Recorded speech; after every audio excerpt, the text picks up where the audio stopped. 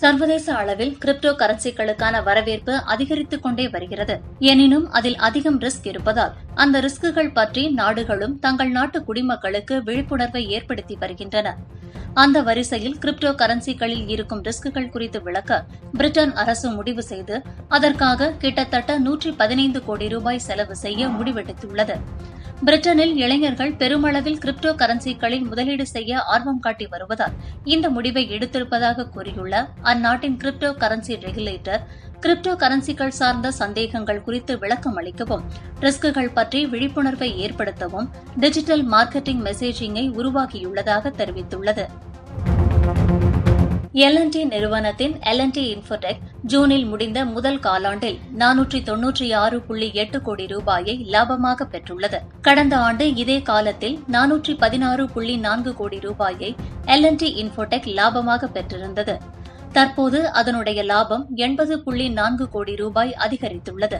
இது பத்தொன்பது புள்ளி மூன்று சதவிகித வளர்ச்சி.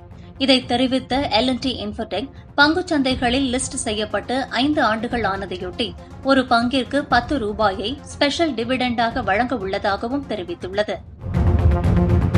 தற்போதைய பொருளாதார சுணக்கத்திலிருந்து மீள்வதற்கு அதிரடி முடிவுகளை எடுக்க வேண்டியது அவசியம் என்று முன்னாள் ரிசர்வ் வங்கி ஆளுநர் சி. ரங்கராஜன் தெரிவித்துள்ளார். பணவீக்கம் அதிகரித்தாலும் பரவாயில்லை. பொருளாதார வளர்ச்சியை ஊக்குவிக்க தேவையான நடவடிக்கைகளை ரிசர்வ் வங்கி எடுக்க வேண்டும் என்றும் வலியுறுத்தியுள்ளார். டெஸ்லா நிறுவனம் விரைவில் சைபர் ட்ரக் என்னும் காரை வெளியிட உள்ள நிலையில் அதில் வழக்கமான முறையில் கைப்பிடியுடன் கூடிய டோர் இருக்காது என்று அந்நிறுவனத்தின் தலைமை செயல் அதிகாரி எலன் மஸ்க் தெரிவித்துள்ளார். டுவிட்டரில் ஃபாலோயர் ஒருவர் கேட்ட கேள்விக்கு இதை தெரிவித்த மஸ்க் டோர்களுக்கு பதிலாக ஓட்டுநரை அடையாளம் கண்டு கதவுகள் தானே திறக்கும் வகையில் தொழில்நுட்ப வசதி மேற்கொள்ளப்பட்டிருப்பதாகவும் தெரிவித்தார். ஸ்போர்ட்ஸ் கார்களை விட மிகவும் திறன் படைத்த காராக பார்க்கப்படும் இந்த டெஸ்லா சைபர் டிராக் ஓடத் துவங்கிய மூன்றாவது வினாடியிலேயே நூறு கிலோமீட்டர் வேகத்தை அடையும் வல்லமை கொண்டது. இது விரைவில் சந்தைக்கு வரும் என்று எதிர்பார்க்கப்படுகிறது.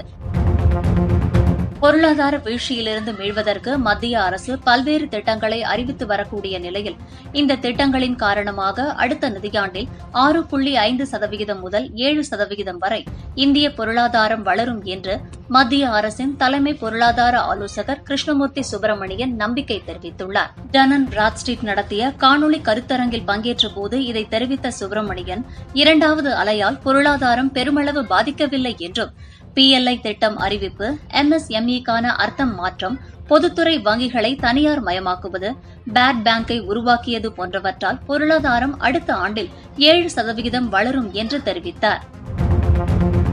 பெட்ரோல் டீசல் விலை தொடர்ந்து அதிகரித்துக் கொண்டே வருகிறது.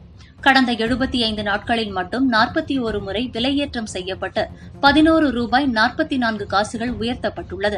நாட்டின் பல்வேறு மாவட்டங்களில் நூறு ரூபாயை தாண்டி விற்பனையாகிறது. இதனால் விலைவாசி உயரும் அபாயம் ஏற்பட்டுள்ளது. இதைக் கொண்டு எதிர்க்கட்சிகள் மத்திய அரசை கடுமையாக விமர்சித்து வருகின்றன. இந்த நிலையில் இந்த விலை ஏற்றம் சம்பந்தமாக சவுதி அரேபியாவின் பெட்ரோலிய அமைச்சருடன் நமது பெட்ரோலிய அமைச்சர் ஹர்தீப் சிங் பூரி தொலைபேசி வாயிலாக பேச்சுவார்த்தை நடத்தினார். ஒபெக் நாடுகளுக்குள் கச்சா எண்ணெய் உற்பத்தியை அதிகரிப்பது தொடர்பாக முரண்பாடு நிலவி வரும் நிலையில் இவரது இந்த பேச்சுவார்த்தையின் போது இது சம்பந்தமாக அவர் வலியுறுத்தியிருப்பார் என்று எதிர்பார்க்கப்படுகிறது. அதேபோன்று கத்தார் மற்றும் ஐக்கிய அரபு அமீரகத்தின் பெட்ரோலிய அமைச்சர்களுடன் பூரி பேச்சுவார்த்தை நடத்தினார். பல்வேறு துறைகளிலும் சீர்திருத்தங்கள் மேற்கொள்ளப்பட்டு வருவதால் முதலீட்டிற்கு தகுந்த இடங்களில் ஒன்றாக இந்தியா உருவெடுத்து வருகின்றது என்று மத்திய நிதியமைச்சர் நிர்மலா சீதாராமன் தெரிவித்துள்ளார். யுஎஸ் இந்தியா பிசினஸ் கவுன்சில் சார்பில் முன்னணி அமெரிக்க நிறுவனங்களின் பிரதிநிதிகள் வட்டமேசை மாநாடு நடைபெற்றது. அதில் காணொலி வாயிலாக பங்கேற்ற போது இதை கூறிய அமைச்சர் இந்தியாவும் அமெரிக்காவும் முப்பத்தி ஏழு லட்சத்து நாற்பத்தி ஐந்தாயிரம் கோடி ரூபாய் மதிப்பிலான இருவழி வர்த்தக உறவை அடைய இலக்கு நிர்ணயித்திருப்பதாகவும் தெரிவித்தார்.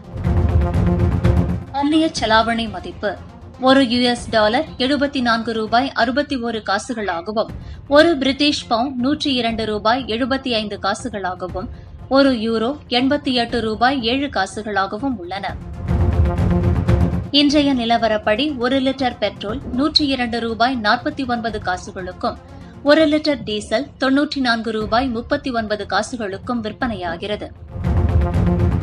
இன்றைய நிலவரப்படி தங்கம் விலை கிராமிற்கு பதினெட்டு ரூபாய் குறைந்து இருபத்தி இரண்டு கேரட் தங்கம் ஒரு கிராம் நான்காயிரத்தி ஐநூற்றி நாற்பத்தி இரண்டு ரூபாய்க்கும் ஒரு சவரன் முப்பத்தி ஆறாயிரத்தி முன்னூற்றி முப்பத்தி ஆறு ரூபாய்க்கும் விற்பனையாகிறது. வெள்ளி விலை கிராமிற்கு ஒரு ரூபாய் பத்து காசுகள் குறைந்து ஒரு கிராம் எழுபத்தி மூன்று ரூபாய் இருபது காசுகளுக்கும் ஒரு கிலோ எழுபத்தி மூன்றாயிரத்தி இருநூறு ரூபாய்க்கும் விற்பனையாகிறது.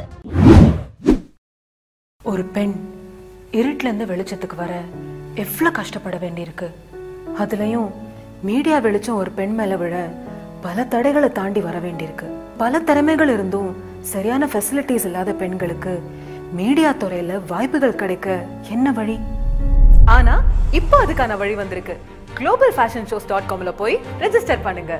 உங்களோட வாய்ப்புகள் உங்க வீட்டு கதவை தட்டும்.